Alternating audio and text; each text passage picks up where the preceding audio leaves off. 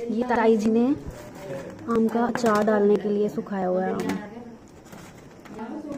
आप तरीका देखो किस तरह से इन्होंने शेड के ऊपर जल्दी ड्राई हो जाएगा इसलिए, लोहे के शेड पे।